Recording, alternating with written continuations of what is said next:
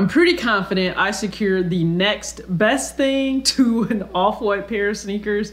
I really, really want it. I really don't want to pay that price for them though. And I was able to buy a sneaker in a way I normally would not have and via text message. Like literally via text message. I have zero regrets.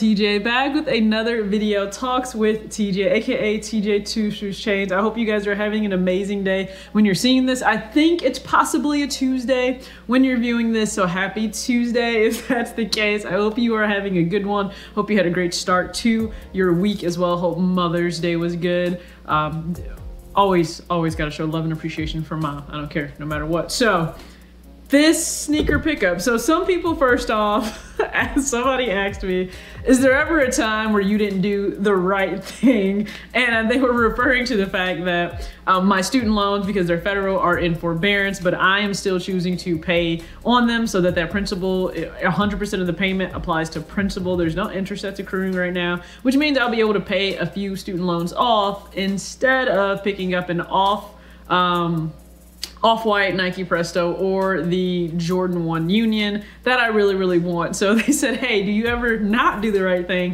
Um, I don't always know that there's a right or a wrong because it is subjective, right? Just because something may not be the action I would take doesn't mean, or I would, I'm trying to combine two words, would and will, I would take, it doesn't mean that it's wrong if somebody else chooses to do the total opposite. I think we just always have to keep that in mind. We have to respect whatever someone does. It probably works for them. For me, I guess this is considered like, hey, I didn't do what I I could have done. Let's just say that there are always opportunity costs for everything. So first off, when you have friends that are poor influences, remember I've, I've spoken on this before, poor influences. CL Now 23, poor influence, but this really, really worked out. So I guess I can't give him too much crap about it. Um, am I gonna be on track for 12 pairs this year? I don't know now after this. I honestly don't know. So he sent me a post and he said, hey, this sneaker is you. This sneaker is you. You want line, the sneaker is me. And that is the Nike Blazer Mid 77. And this is actually in, um, the official term is, uh, it's total orange. Now you can see by that swoosh, it is certainly orange. It has that off-white kind of beige uh, upper leather. It has this rough suede that's on the back. I absolutely love it. It has the exposed foam tongue on the actual tongue itself. There is no color. It's just white. With, it's pretty much just like a white on off-white tongue and then again it has the exposed foam itself now in terms of me saying hey i went to jersey and picked up a sneaker no i did not physically go to new jersey but i was able to shop frequent provide my business to a sneaker store so that would actually be Sneaker Hubb. Now, I don't know if you guys have heard about them or if you follow them on Instagram. It was my first time officially shopping with them but I'd seen a few of their posts, I think on my Explore feed, and now it sent me some posts before, but I'd never actually made the decision to buy from them. And if you look at the post, I'll make sure to put it up there put it up here so you guys can see. If you look at the post, it says, hey, um, you need to text us or call. It's like by phone order only. And I'm like, what? so I saw this shoe. So why did I buy this? Okay, let's go into the story. Um, buying this because no, it wasn't something that I originally planned to buy, but I actually sold ooh, two pairs of shoes that I just didn't intend on. Uh, I, I never wore them, so I ended up selling them and that actually provided money towards this so it kind of knocked down what the actual cost is. So retail is $100 on these. Um, I paid $20 for shipping and so it was 120 total for me to pick up this pair. But because I essentially made uh, I think $62 profit in terms of selling um, the shoes that I did sell hey that took down what this was out of pocket. So to have paid what a little over forty dollars for a brand new in the box Nike mid blazer I'm okay with that. Now, this is not my first time, of course, owning a blazer. I've owned blazers before. I, I'm trying to think back to the exact color that I had, and I think I had a white and like lighter blue pair back in the day. And it's funny because uh, I don't know if you guys follow, uh, subscribe to Sole Focus, but Corey loves blazers. He went over them, and he actually felt that the blazer was better than any off-white. That video got a lot of traction. Now, he got some love and he got some hate, but again, it's his opinion based on what he likes.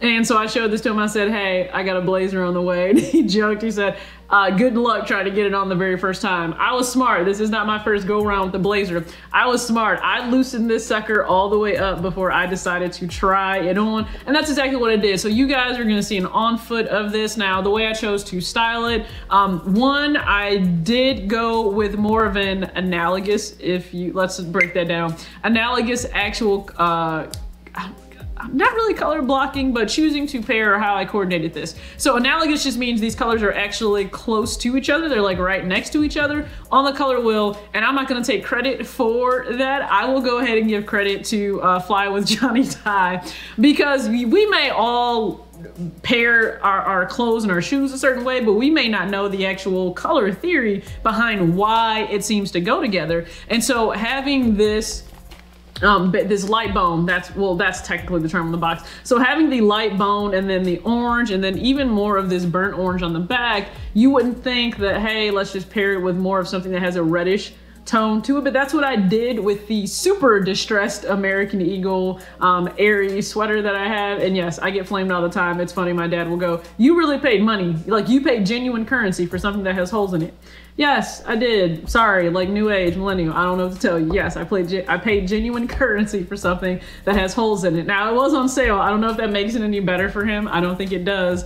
But I decided to uh, go with the analogous route so they complement each other and then you have that bright pop of denim in there to really set everything off. Uh, the second outfit that I went with, Total Comfort, we're talking you want me to go somewhere? I'm in a hoodie, I'm in some sweats. Now the sweats that you see, I just picked these up from Dick's Sporting Goods. They are the Nike Essential um, sweatpants. I actually went with the women's large because I just really wanted a, a baggier pair of sweatpants with the small and with the medium, all sold out as well. Nike has these on their website, but it was an XL and I'm like, that's a little too big for me. I am small, okay? My waist is actually like a 25 and a half, 26. So having a women's large is essentially like having a men's medium. So they're quite big on me, but thank goodness for the draw cord and they fit in the waist now. They're super baggy and comfortable and relaxed through the legs and I love it and I paired it with the Nike Just Do It all over micro branding hoodie. So I don't know if you guys have seen this, I think before, because I felt like it was one of the best hoodies of 2018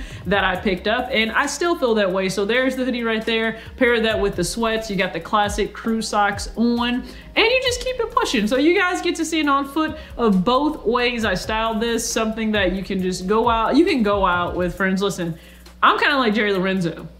Sometimes if you're telling me that sweatpants and a hoodie or something is not allowed, I don't know if I want to go. I may not be in the mood to put on anything else and I might not show up and I'm perfectly fine with that. Listen, just because the world is going to open back up doesn't mean I will be the one uh, still trying to attend everything. But this is so close to the off-white Hallows Eve. So that's why, that's the true reason why I picked this up. I wanted that shoe so bad. I thought, okay, this is it. This is the one. I'm gonna get this shoe had not a chance in hell of getting the shoe. And I'm still salty about it because I loved the over, I, I love the overextended, the very obnoxious swoosh that was on the side. Now we know on the medial side, it usually has the off-white paragraph text that is there. Listen, I don't have that on these, but you can't tell me I didn't get insanely close. I got the next best thing to the off-white Hallows Eve. Now listen, Virgil, why? Like, just why are you doing this to me? Like, why did you do that? Well, I'm not gonna say it was his fault. I'm gonna blame SNKRS app that just seems like a great person to place the account the, the blame on. I'm gonna blame SNKRS app. So I didn't get it. I do plan to go back for the Grim Reaper because it's cheaper on the secondary market than Hallows Eve. It just is. The Hallows Eve one, I knew that it was the one that everybody wanted. The black and white, not so much. People didn't think it would probably turn heads as much.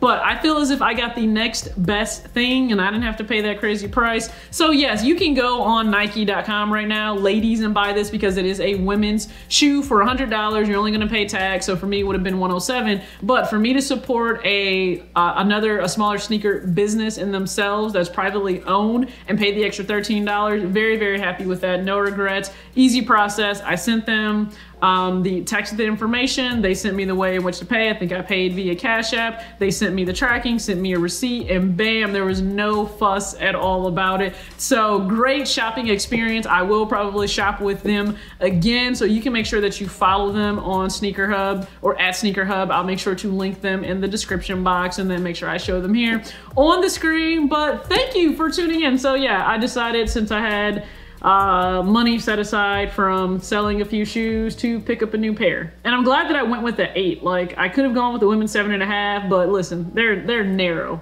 They are a narrow shoe, so I'm glad I went with an eight. So I actually have room when I want to wear bigger socks, and I don't have to, or thicker socks, and I don't have to worry about any problems with my feet. But great sneaker pickup for myself. Love it. These are going straight to feet. And you guys can make sure to follow me at talks.with.tj on Instagram. I will have plenty of pictures posted of the outfits and of uh, on foot looks for the shoes. So as always, act your age, not your shoe size. Peace out.